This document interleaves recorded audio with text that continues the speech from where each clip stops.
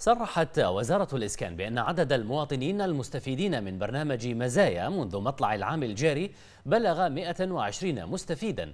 ليصل بذلك إجمالي عدد المستفيدين من البرنامج منذ تدشينه إلى 9900 مستفيد.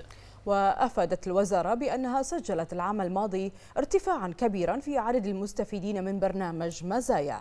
بلغ 3271 مستفيد وهو العدد الأكبر من الطلبات التي تم تلبيتها في هذا البرنامج منذ إطلاقه عام 2013 ما يعكس حجم الإقبال المتزايد على الاستفادة من البرنامج في ظل ما يوفره من تيسيرات مالية وتنوع في العروض من المشاريع الإسكانية التي توفرها شركات التطوير العقاري.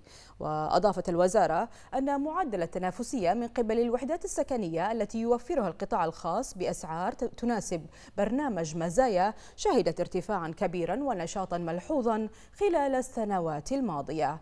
ومن جهة أخرى أفادت الوزارة بأن إجمالي مبالغ الدعم الحكومي التي توفرها الوزارة للمستفيدين من برنامج مزايا ارتفع إلى 87 مليون دينار حتى منتصف فبراير الجاري مشيرة في هذا الصدد إلى ارتفاع التنافسية من قبل المصارف والبنوك التجارية بمملكة البحرين لتمويل برنامج مزايا.